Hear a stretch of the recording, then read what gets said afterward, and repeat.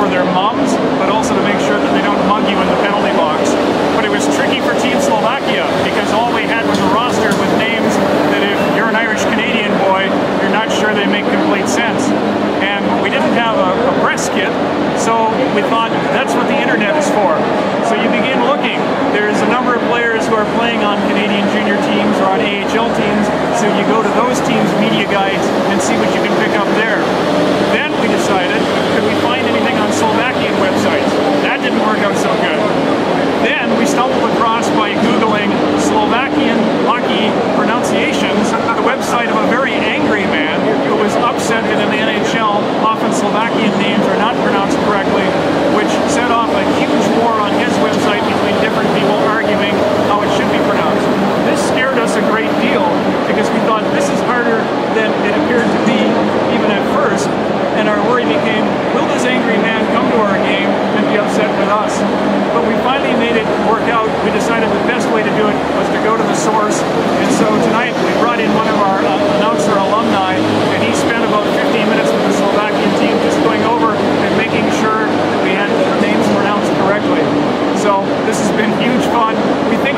right.